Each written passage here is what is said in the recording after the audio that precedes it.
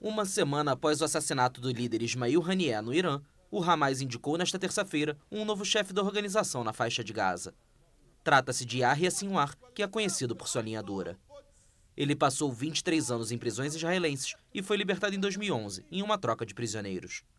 Nascido em Canhunes, uniu-se ao Hamas na época de sua criação, em 1987, ano da primeira intifada ex-comandante de elite das brigadas Al-Qassam e suposto mentor do ataque de 7 de outubro, é procurado por Israel e está na lista dos Estados Unidos de terroristas internacionais.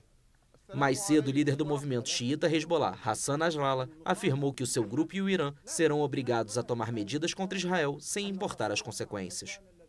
A possível represália segue os assassinatos na semana passada de Haniyeh e do comando militar da organização libanesa, Fuad Shukri.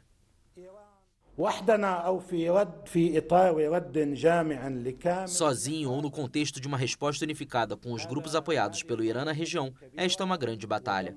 Um derramamento de sangue precioso e um alvo precioso que a resistência não pode ignorar, quaisquer que sejam as consequências.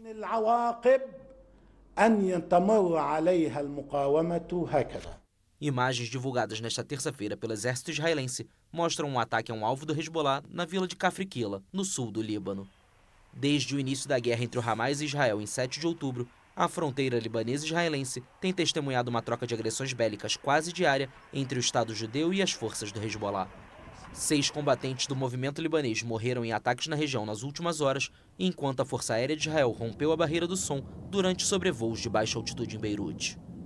Os voos e explosões que causaram pânico na capital libanesa coincidem com os temores de uma conflagração regional entre o Irã e seus aliados de um lado e Israel do outro, no contexto da guerra na faixa de Gaza. Sim, o objetivo é parar a agressão em Gaza e contra o povo palestino. Mas quem pode confiar nos americanos depois de 10 meses de engano, hipocrisias e mentiras para toda a comunidade internacional? Dizendo que querem fazer a guerra parar, enquanto continuam dando a Israel armas e dinheiro. Ainda nesta terça, o exército israelense confirmou, após uma investigação exaustiva, a morte de Billy Einon, a última pessoa que ainda estava desaparecida em Israel após o ataque do movimento islamista palestino Hamas em 7 de outubro. Na ocasião, o grupo sequestrou 251 pessoas, mantendo 111 como reféns até hoje.